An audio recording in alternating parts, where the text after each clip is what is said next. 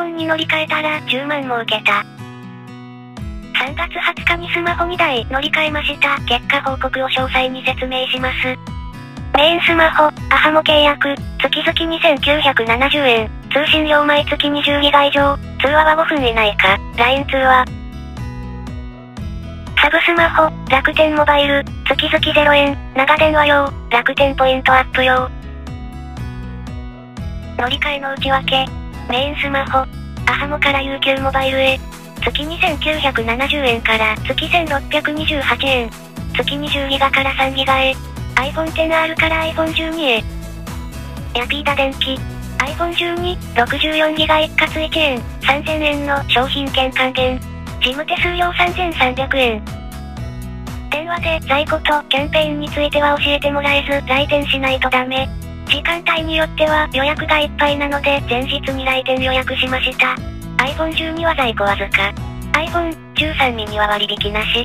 あちらから提案で UQ モバイルに乗り換えで2万5000円のキャンペーンやっているため SIM 単体契約で2万5000円還元、その2万5000円でソフトバンクの iPhone12 を回線契約なしで2万2001円購入で差し引き3000円の商品券還元してもらいました。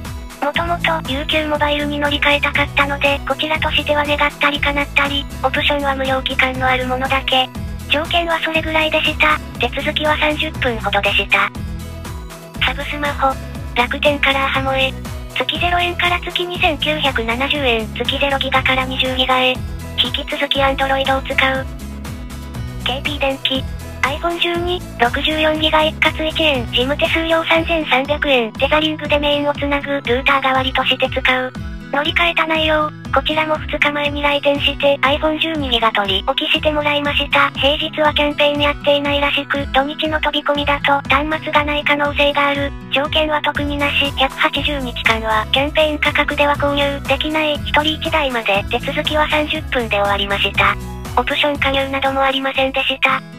前回動画で紹介したの P まで購入した回線契約なし、端末が1台。メインは UQ モバイル継続で半年後にプラン SOM プランに変更。月15ギガまでだが、速度規制が1メガなので遅い時はあるが、ほぼ困らない。月2728円、サブスマホは半年後に楽天モバイルに乗り換えか解約。月0円利用。今回の乗り換えメリット。iPhone 12が2台手に入った。月の速度制限ギガ数が20ギガ、23ギガへ、積み立て投資の5%還元が受けれる。今回の乗り換えデメリット。